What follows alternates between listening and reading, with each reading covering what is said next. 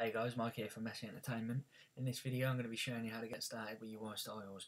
So when you've imported the asset you'll have this UI styles folder in your project uh, and then within that we've got a change log documentation which is pretty basic at the moment. It's, uh, it's going to be improved very soon. We've got Google Design Guide so if you're not a, a designer check that out. It shows you what colours go with what nicely and stuff. You'll notice as well that our default colour palette uses the colours that they recommend. We got a link to our videos, we got some demo data which is the colour palette that I just mentioned. We got some examples, so the demo data and the examples can be deleted if you don't want them. We've got some font and some images here, so if you don't want them you can delete them. Uh, and the main thing that you definitely don't want to delete is this folder of scripts. So just leave that alone. Um, the folder UI styles can be moved to a new directory if you wanted it to. If you don't want it there, if you want it in a different folder, move it, no worries. Uh, so let's get some uh, windows open, UI styles. So we've got a styles window, this one, this one can be docked. Uh, well, they can both be docked. And then we've got a colour palette. So by default this one's not dockable, but you can go to their menu uh, when you've got some settings loaded and make it dockable. So, right, we need some settings basically. If you look at both of them, they're saying we need to create some settings first. So, on the colour palette, because the colour palette is going to be looked at in its own video, so I'm just going to show you its settings now. Uh, so, if we go to load, you can see we've got, uh, it's already found the default colour palette, so I'm going to load that in. And this is basically it here. Uh, and if we want to, if you're going to want to use that, because even if you don't want these colours, you can make categories. So if you say if you had a colour palette of say pastel sort of colours, you just add a new category, uh, and then you can just flick between them just like that. So it's worth just keeping these Google colours anyway, really. Unless you just generally don't like them or you don't want them, then do away with them. But if you do want to keep them, the best thing you can do is go to the asset. So notice now that that's the loaded one, if I click that, it'll ping it in the project so we can go to it and then if we just duplicate it or uh, it's always good to duplicate it just in case you play about with it and change stuff. And then you've already got that one there to fall back on. But the reason we're taking this out of the uh, out of the UI styles folder so now I'm going to delete that. I mean I'm going to load that sorry. You can see it's found that one. And if I had more you can see it's found the two that I got but if I had more it'd find them as well. See? So that's pretty cool.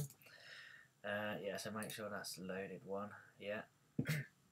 Uh, and the reason we don't want this one loaded or at least we if we did want it we don't want it at that directory because that one's in the UI styles folder. We don't really want any save settings in there because when when I update UI styles um, we just want to delete this folder and we don't want to delete anything that's you know our setting. We don't want to delete our settings. So right, I'm going to close this video, uh, this window now because we're going to do that in a different video.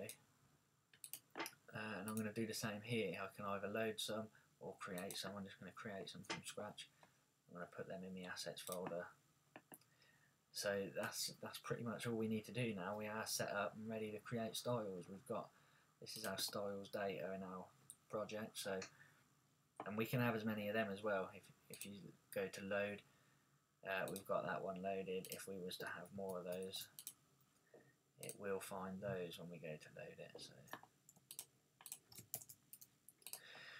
Right so again we've got the categories pretty similar to what I just showed you on the colour palette. You can have categories over here to um, better organize yourself and stuff. But so let's just create a text a pre-made one and let's just say we want it to be called title so that's it, we've now got a style. It's already got a text component in. We can add as many as we want. Uh, we're going to look at that a bit further in just a second, but for now I'm just going to create a text component. I'm going to create a few of them as well because that's the idea of this asset. We edit loads at once. And that'll do.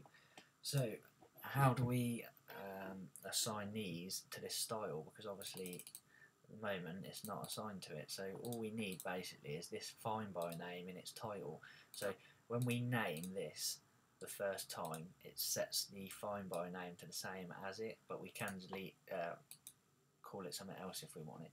So if I was to copy that there like that, all I really need to do is open and close some brackets there, paste the find by name in it. So the find by name is is in there with brackets, and that just deleted it. But uh, another thing we can do is if I right click and then copy, it will copy it with the with the brackets already in there.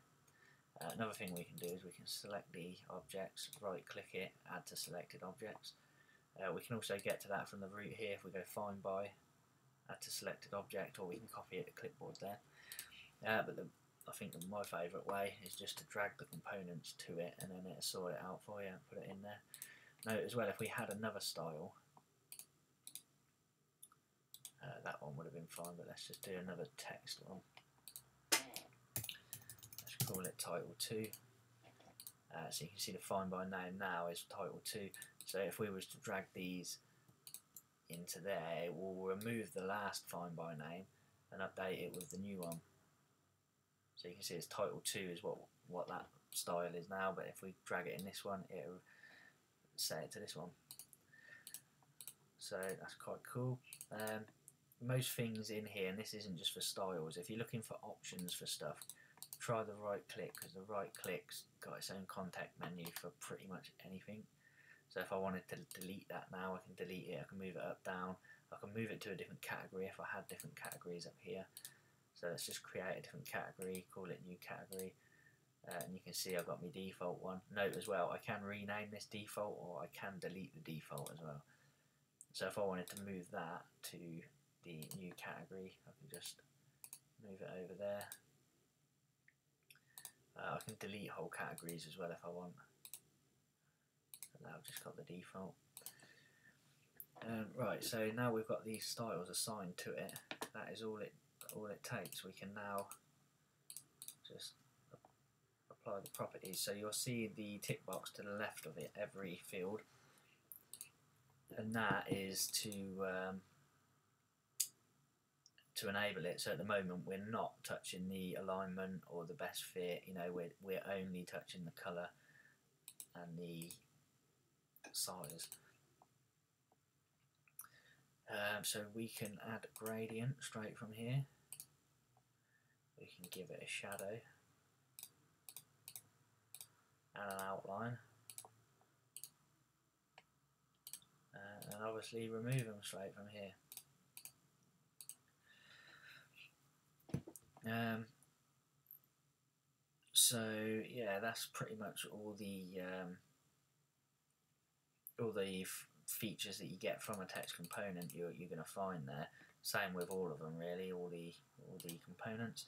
We do have a few more, like we have title case here, so we can set it all to lowercase, or set it all to uppercase, or title case, which would be the first letter of each word, or first upper, which would just be the first letter. Uh, I'm going to put it to first title case, seeing as this is a title style we're creating here. Um, but yeah, that's pretty much covered the um, the style, if you like. But what we're going to do is create an input field because an input field's a bit more got a bit more going on than just a, a text.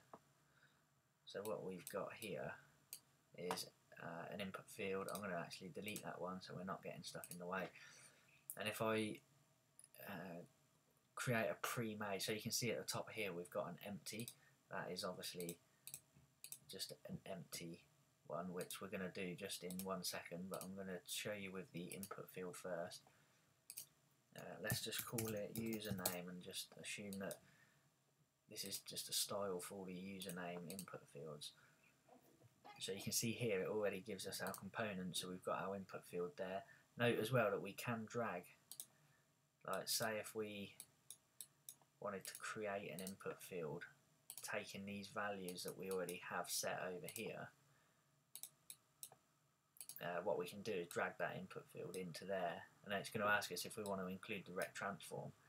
Uh, I don't because I don't want them all in the right same place. Uh, and then it's created our style there and it's took the values into consideration. So it's give us our image uh, our placeholder and our text. Uh, so here's the one that we didn't drag, so it hasn't got them properties. So we just want to put the find by name in it, and then if we apply and tick what we want to have applied, uh, what's going on here?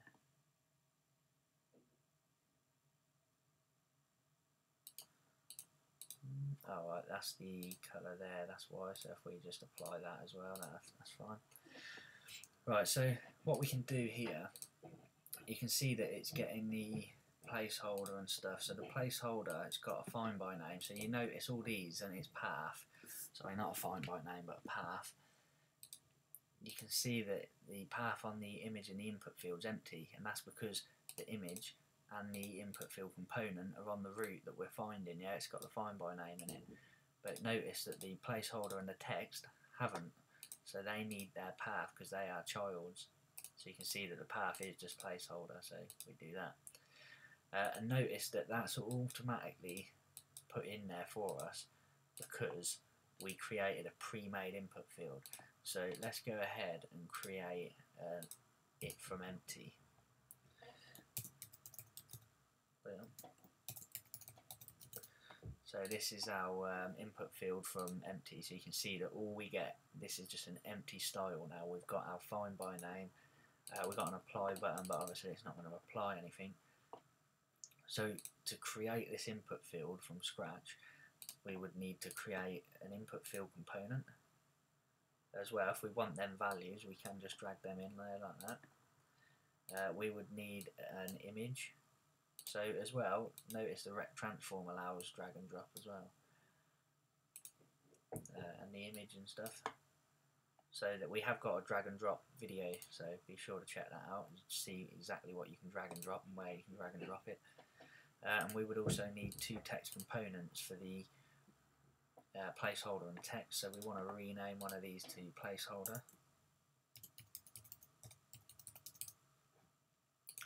And you can see we've got some warnings here. So what these warnings are saying is we've got two of the same components referencing the same path. And in this case they're referencing no path, so they're, they're referencing this game object. Well that's not where the text is anyway, but the, that's not what the error's saying. The error's saying you've got two referencing the same path. So let's try and add a text to this. And you'll see that you can add two texts to the same game object, so it knows that this is an error. Uh, so basically what would happen here is we would update it with these values and then straight away update it with these. So these would overwrite these. So, you know, this one here is just pointless. So um, to update the path, the best way is just drag the path into it. That's the placeholder. So the path, basically, if this, this was within a game object, uh, yeah, and then maybe even in another game object, and then placeholder is in there, then the path would be game object, game object one, and then the path. So just drag that path in there, and it'll write it in there for you. You can obviously write it in by hand, but I mean, why would you do that when you can drag it, right? So as soon as you rename it or move its path, then just drag it in there to update it. Now let's say as well that this input field had a tick and a cross with it uh, and we wanted to control that with the style as well we would add it a tick uh, and just drag this component into it so we could either add an image but because we've already set the image and that on here we can set the color on here and stuff so because we've got it pre-made let's just drag that in and it'll take them components here give us a tick the color we're going to rename it to tick. uh, yeah, so that's renamed. Notice the path, we're getting an error again because we've got the image referencing the same path as the tick, so the ticks needs its path updating basically. right, so yeah, so now we've, you know, let's just create um, a load of these input fields. and say we want to update the colour uh, you see it all jump to the same place and that is because we are referencing the rect transform on the image. You see they're all going to the same place. So if we don't want them in the same place then we need to remove its rect transform. Yeah, if we notice as well I'll show you the rect transform with the tick. So if we open the tick up grab a tick and grab the rect transform in there uh, and then move the tick then when we apply it it's going to always put the tick back where it should be. Uh, and UI Styles works great for layouts so check check the um, the runtime example out with layouts. You can just use UI Styles to have the user just completely change the theme of the game. So you can supply them with a few themes. UI styles will sort it all out for you. So that's took a good look into the styles. I'm sure you'll figure it out. Figure it out if I forgot, and if not, I do have support. So give us an email. Um, we've got custom components here, so this is good for TextMesh Pro and stuff, or even scripts that you've written yourself.